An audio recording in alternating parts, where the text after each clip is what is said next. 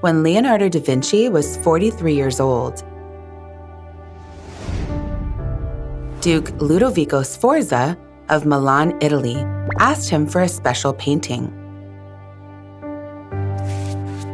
Leonardo agreed and worked hard to complete the painting in three years. It is the famous painting known as The Last Supper. The Last Supper illustrates the scene of Jesus establishing the new covenant, Passover, the night before his crucifixion. In this painting, the disciples are sitting together on either side of Jesus.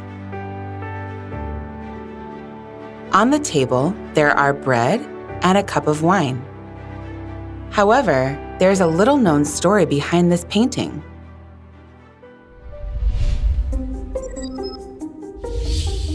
In the painting, Jesus' hands are positioned on the table. However, in the first completed painting, it is said that a cup was held in Jesus' right hand. The original is quite different from the picture we know today. What happened?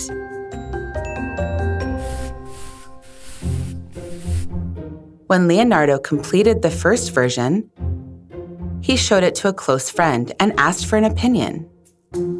Wow, Leonardo, the cup in Jesus' hand looks so real. That's great. It, it's amazing. I can't take my eyes off the cup.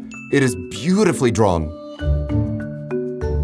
The moment he heard his friend praising the cup, Leonardo was displeased and immediately erased it.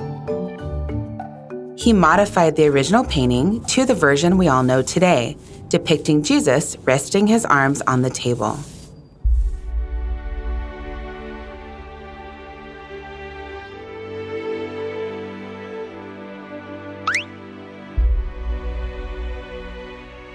Only Jesus must be glorified through this painting.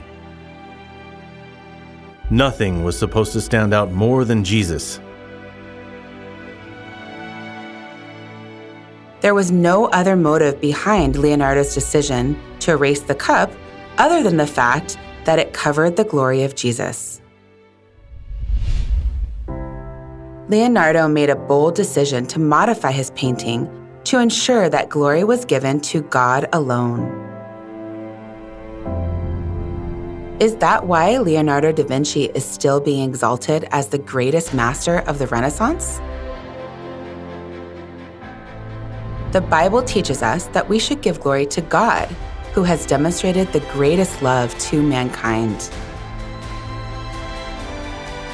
When we give glory to God, God promises to return that glory to us.